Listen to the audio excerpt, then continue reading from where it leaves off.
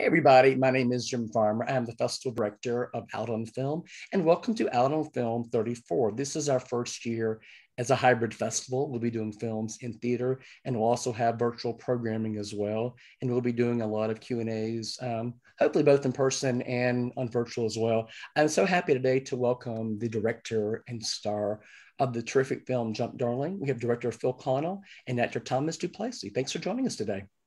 Thanks for having us. Hi. Sure thing.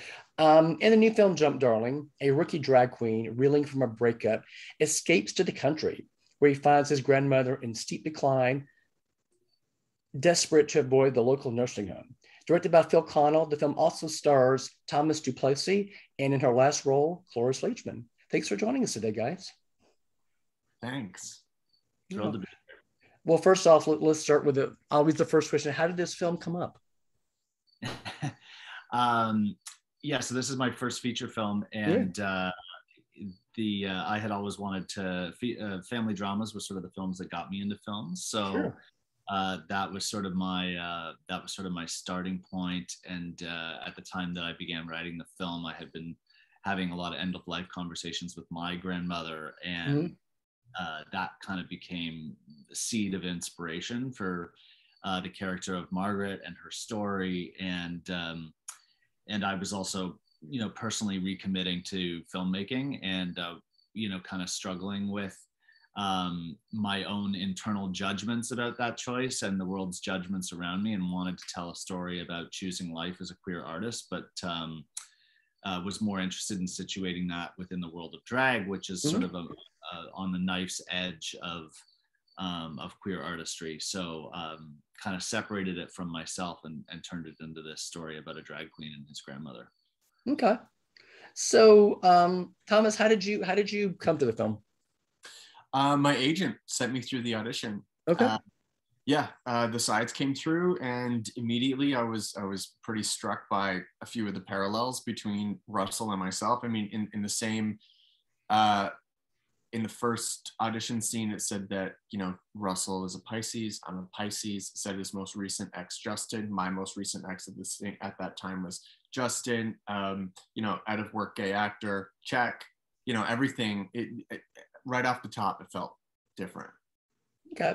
Can you just talk, I mean, this is a question for both of you. Can you just talk a little bit about what the main character is dealing with at the beginning of the film? Yeah i mean russell is is really dealing with um you know trying to decide what um the next part of his life is going to be. You know he i think expected at this point to you know have a you know a solid career as an actor um, and to be self um, sufficient but is certainly not and is now at a crossroads of whether or not he's going to you know um, choose life as an artist and ultimately um, does. And he's you know just in in this kind of internal conflict between where he is now and where he wants to be.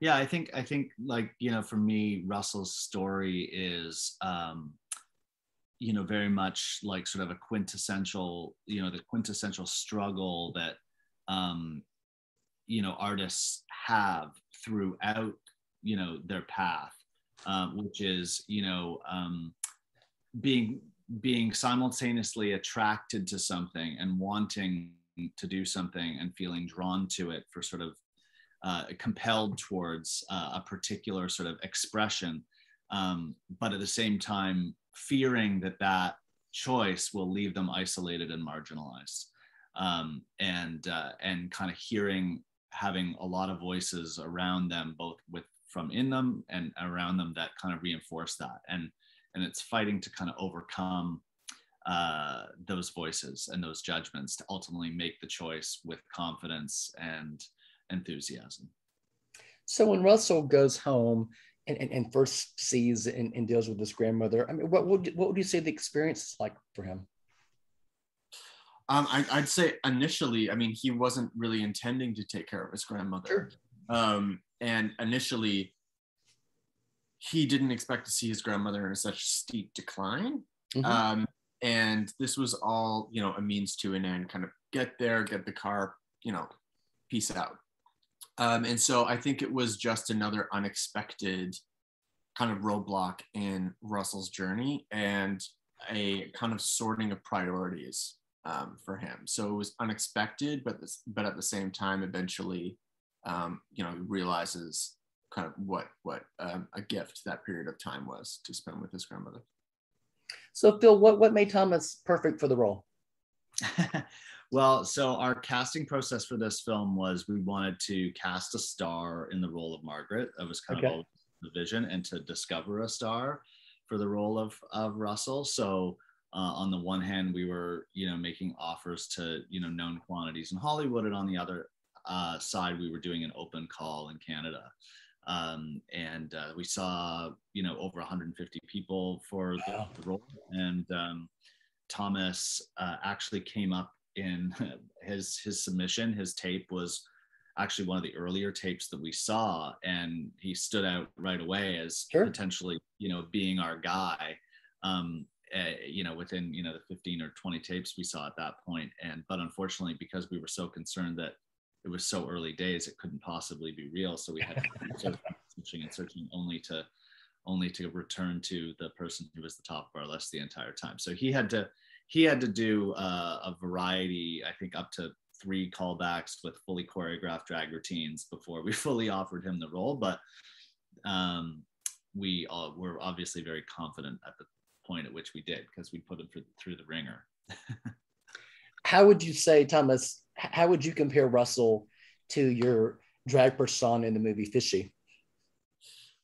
Um, how would I compare Russell to Fishy? Well, I mean, I think with any um, you know uh, drag artist, they all kind of speak of this transformation that happens when they put a wig on and sure. makeup on and their heels on, and I think um, a lot of it is uh, the confidence that Russell wasn't able to uh, have in his everyday life as a struggling actor, he found through drag. And so I think it it is all of the aspects of Russell that he wished he could bring to the table any other part of his life that he is finally able to um, through drag. So it's it's all of the other hidden layers um, to him. Mainly, it's confidence it's funny. It's like it's like that. You know, RuPaul often talks about this when if you watch RuPaul's Drag Race, she often talks about um, you know that power that's available to you, that power that you feel and embody when you're in drag is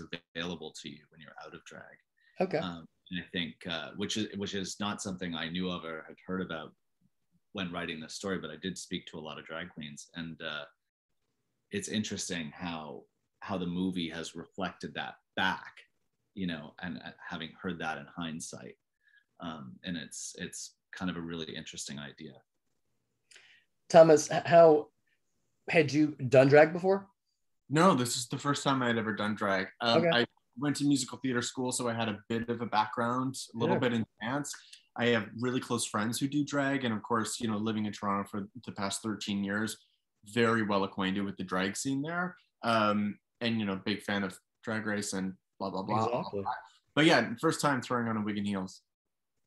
I mean, would you say that, you know, what what is in getting into the role? Was it harder to, was it was the physicality harder, or was it just getting into you know the emotional space where the character was? Yeah, I'd say the the, the most difficult part about Russell and getting into character was probably the emotional sphere of sure. it. Um, I, mean, the, the the the physicality of doing drag for the first time was also um, a huge challenge. Just I can imagine. All of the respect to queens that do that full time. Because, I mean, it took all of me to do that. Um, yeah, I would say I would say the the emotional sphere of Russell having to deal with you know having a crutch of substance addiction and then having to really deal with the um, the emotional aspects of um, a fresh breakup plus where where am I in my life and where am I in my career, and then the emotional aspect of taking on the responsibility of taking care of a 94 year old grandmother and fighting with his mom, and you know the list goes on. I have to ask, obviously, about Cloris Leachman. I mean, what what made her so right for this role? Because she's, I mean, you know, I've been watching Cloris Leachman for decades, and she's always on point. But boy, she is so good in this movie. Mm-hmm. Um, a great question. I mean, uh, you know, when we when we started to look to cast the role of Margaret, I mean, we were basically looking for actors, you know, over the age over the age of 85 in Hollywood who were still working, um, which is a pretty short list.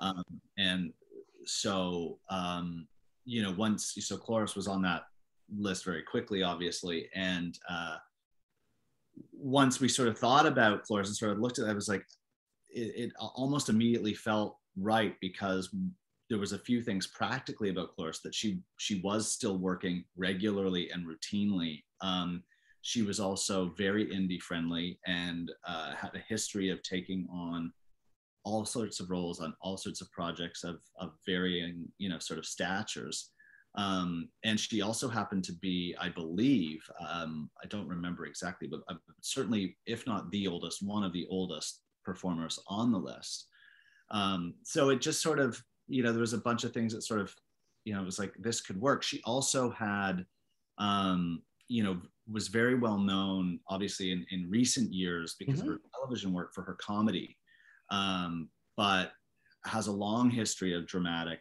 roles as well, particularly in in her in her younger years, and certainly that's why she won her Oscar. So last picture show, what an amazing! Oh yeah, yeah. So so there was sort of this idea that you know the character of Margaret certainly it was a dramatic part, but there was a lot of comedy in in in in the role and so it sort of it sort of just started to the stars sort of aligned um i mean obviously we didn't audition Cloris um, there was no tape um, so you know whether or not she was going to be perfect or not was just sort of an instinctual thing and whether or not she and, and thomas would have the chemistry to create that kind of heartbeat of the story that we really wanted the relationship between the two of them. All of that was just the magic and the luck of it working you know when we all got together. Phil how did you react when you found out that Cloris was a was a was a yes? Uh, we were overjoyed uh, we were, I remember our casting director called and said, um, you know, and it had been a, a, lot of work and a lot of letter writing and a lot of, you know, kind of, uh, and we were coming up against timelines too. It was, I think it was about, it was a little, it was less than two months before we planned to go to camera. Mm-hmm. And, uh, and he sort of said, I want to talk to you guys urgently. And I remember calling Katie, my producer, and saying, oh my God, it's a yes. Could this be a yes? And, and it was. Um, so we were we were thrilled. Um, I think the most exciting calls I made in the entire process was when I called Thomas um, and then also Linda Kash, who plays Ian in the film, to let them know that Cloris was going to be playing the role of Margaret because I we cast him and, I, and it was close, but everything wasn't sort of sorted out, contracts and everything else, so I couldn't tell him. Um, and uh, those were really fun calls. Thomas, what was it like being on set with her? Oh, it was a joy. It was, um, I mean, she's everything that you hear people say she is. Totally spontaneous, mm-hmm. um, inappropriate, um, I, like unpredictable. Um, but she was also, she was also a pro and had, you know, the the biggest heart in the world. And um, you know, she taught me a lot. She arrived with over seventy years worth of of experience. And so, you know, I just soaked it up and pinched myself every minute of every day. There's there's so much great stuff in this film. This really is a crowd pleasing film. But you know, for me, obviously, the crux of the film is the relationship between these two characters. Can you talk about how they change each other throughout the course of the film? I mean, a question for either one of you. Yeah, I mean, I think that you know it's it's sort of it is very much a film about two people who you know who love each other and have a history um how they come together and how they leave each other. And you know i um i think the the best way for me to answer that question is is that the role of margaret was very much inspired by my grandmother and um the relationship I had with her was a very uh, important one in my life and very influential on my life. And she was, um, yeah, this just this this presence, um, and it's sort of it's such a unique relationship. The kind of uh, the grandmother grandson or, or sure. grandmother granddaughter or grandfather granddaughter, you know, that the intergenerational thing because it it's like it sort of um, you know transcends the parental relationship into something that has that um, you know the the wisdom and the friendship you know like uh, you know and and so much is known but so much is unspoken. Um, and there's so much you know joy in it. Um, and you know so that's where it really came from from me um, again without even really knowing that it's one of the things that the film kind of reflects back on me you know you, yeah. you i came at it with that idea i guess but um, it's like wow that's that's what that relationship was like so that's kind of what i put into it um, and uh, yeah i don't think that okay. totally answers your question but yeah i i think um, the effect that margaret has on russell is that it kind of brings into focus for Russell um, the importance of doing what you love with the time that you have to do it.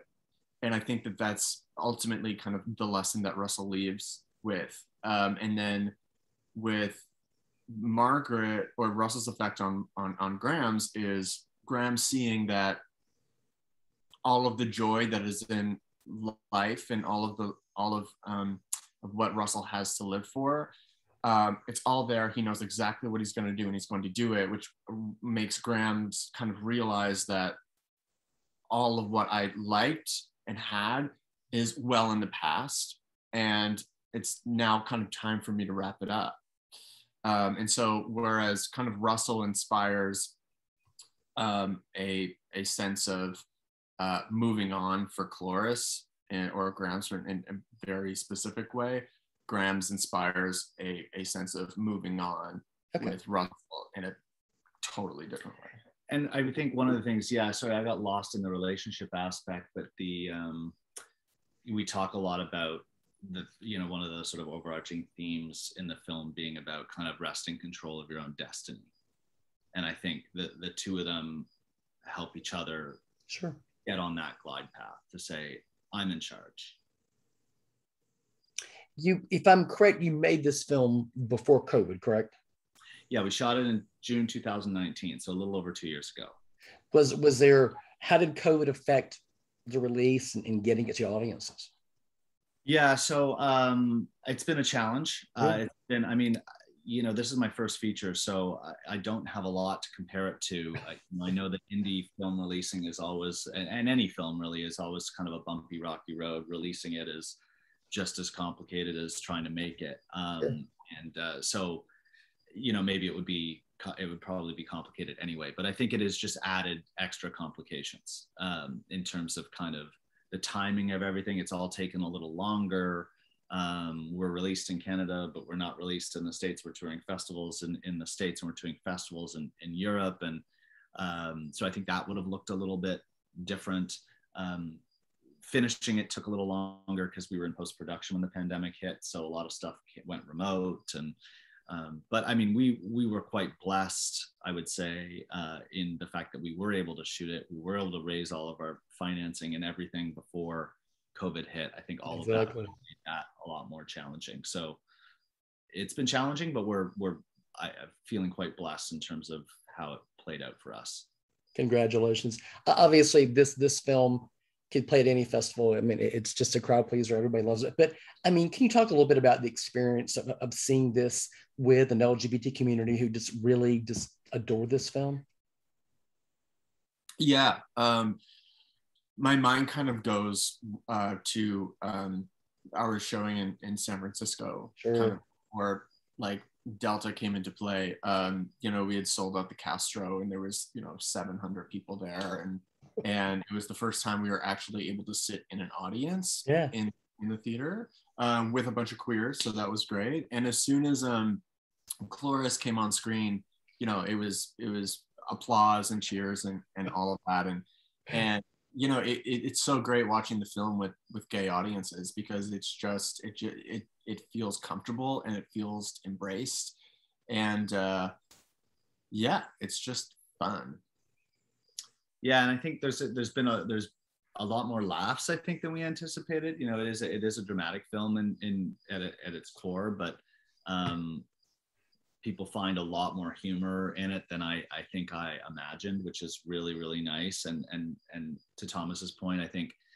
um, Russell's story is um, a complicated one, and it, there's a bit of inside baseball in it in terms of you know uh, from it being kind of a, a, very much a queer story. I think mm-hmm. um, you know straight audiences kind of struggle, I think, a little bit to understand some of what he's going through.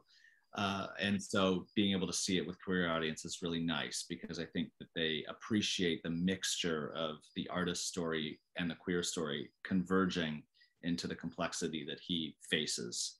Okay. All right. So final question, what's next for both of you?